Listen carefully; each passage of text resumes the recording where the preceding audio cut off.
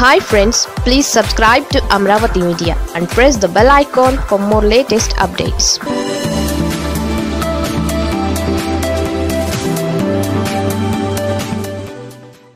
Chandrababu ముహూర్తం పెట్టేశారు. ముందస్తు ఎన్నికలు అప్పుడేనట. ముందస్తు ఎన్నికలు వచ్చేస్తున్నాయట. వచ్చే ఏడాది మే నెలలో కానీ లేదా డిసెంబర్లో కానీ ముందస్తు ఎన్నికలు జరగటం ఖాయమని చంద్రబాబు నాయుడు ముహూర్తం ఫిక్స్ చేశారు. పార్టీ నేతలతో జరిగిన సమీక్షంలో మాట్లాడుతూ ఎక్కడా అప్పులు పుట్టక ఆదాయాలు పెంచుకోలేక జగన్మోహన్ రెడ్డి ప్రభుత్వం నానా అవస్థలు పడుతున్నట్లు చెప్పారు.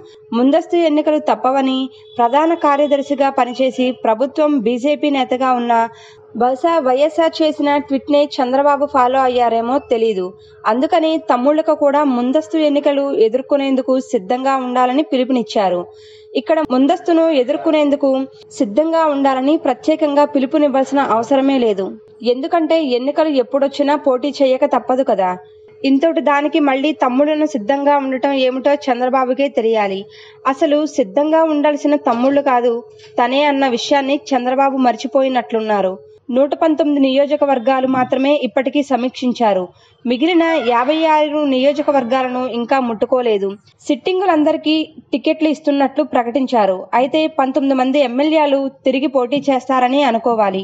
ఇక సమీక్ష చేసిన మిగిలిన వంద నియోజకవర్గాల్లో మరో ఇరవై మందికి టికెట్లు హామీ ఇచ్చినట్లు ప్రచారం జరుగుతుంది. మిగిలిన ఎనభై నియోజకవర్గాల్లో ఇన్ఛార్జీలను గట్టిగా పనిచేయాలని మాత్రమే చెప్పారు. అంటే సమీక్ష చేసిన ఎనభై నియోజకవర్గాలు చేయాల్సిన యాభై ఆరు నియోజకవర్గాలు కలిపి నూట ముప్పై ఆరు నియోజకవర్గాల్లో ఎవరు పోటీ చేస్తారో తెలీదు. మధ్యలో జనసేనతో పొత్తంటున్నారు. జనసేనతో పొత్తుంటే ఆ పార్టీకి ఎన్ని సీట్లు కేటాయిస్తారో తెలీదు. ఇంకా ఏ పార్టీ పొత్తు పెట్టుకుంటాయో తెలీదు. వీటిలో ఏ విషయం కూడా క్లారిటీ లేదు. ముందస్తుకు నిజంగా సిద్ధంగా ఉండాల్సిందే చంద్రబాబుని అర్థమవుతుంది. ముందస్తుకు తన సిద్ధం కాకుండా తమ్ముళ్ళని సిద్ధంగా ఉండాలని చెప్పటమే విచిత్రంగా ఉంది.